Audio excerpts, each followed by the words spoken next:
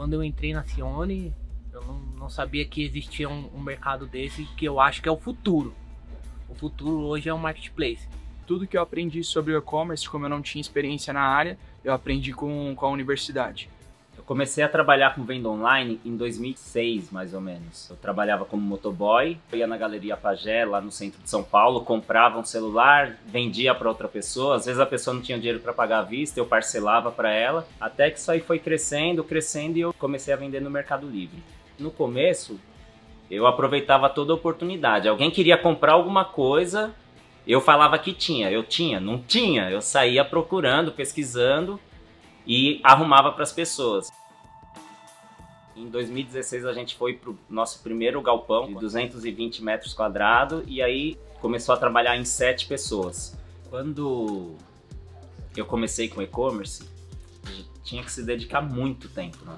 não era só até 8 horas da noite, não, era, era muito tempo. Mais de 15 horas de trabalho. Tem um menino de 22 anos, um rapaz já, né? Quando ele tinha por volta dos 13 anos, ele falou para mim que ele nunca ia querer ser o sucessor da, da empresa, porque a gente não tinha tempo para família. Tinha vezes que eu ia ir pro escritório, só sentar lá no escritório e ver ele trabalhando, só ficar do lado, a gente sem conversar mesmo. Quando eu escuto o Felipe falando para mim que ele não quer ser o sucessor, isso me fez acordar que eu preciso diminuir o meu ritmo, e dedicar mais tempo para a família. Mas isso muda com a Beatriz, que a Beatriz desde pequena ela fala que ela vai ser diretora da empresa. Eu falei para ela que para ela ser diretora da empresa ela tem que passar por todos os setores da empresa, inclusive a faxina, e ela até brinca. Não, a faxina eu já faço, isso aí é, é fácil. Eu quero ser daqui, porque eu ajudo às vezes meus pais, funcionário, então aí eu, não penso que eu, eu finge que eu sou, só que na real eu não ajudo praticamente em nada. Meu terceiro filho ia nascer em abril de 2021 e eu queria acompanhar mais de perto. Antes de contratar a mentoria, eu liguei para o Alexandre Nogueira. Eu queria deixar a empresa mais na mão dos funcionários. Eu queria entender se a mentoria iria me ajudar com isso, se eu podia confiar que a equipe dele iria puxar a nossa equipe. E aí ele falou que sim.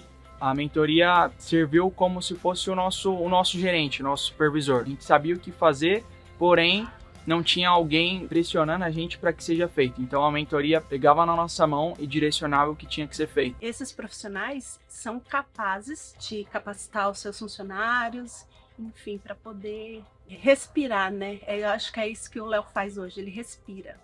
Antes da mentoria, nós tínhamos um faturamento médio de 250 mil. E depois de alguns ajustes, alguns acertos que nós tivemos na nossa operação, nós chegamos a um faturamento de quase meio milhão num período relativamente curto de uns, seis a oito meses. Nós começamos a trabalhar com o mercado ads, que a gente não trabalhava, passamos a fazer ads em alguns outros canais, a forma de cadastro de produtos, mexer com cauda longa. Hoje, a Cione tá nesse patamar por causa do Fulfillment e por causa da mentoria que ajudou a gente bastante nesse, nesse período aí. Então eu me sinto muito realizado com o que a gente aprendeu e colocou em prática. Demorou um pouco para a gente ajustar isso. A gente aqui, porque o pessoal da mentoria já vinha vindo falando pra gente, ó, oh, faz assim, faz assim. E a gente achava difícil, a gente começou a, a pegar o jeito. E hoje, graças a Deus, aí, estamos firme forte na luta. Como eu também tirei a licença maternidade, né? Eu fiquei em casa de perto, ajudando minha esposa todos os dias. Foi muito feliz poder fazer isso.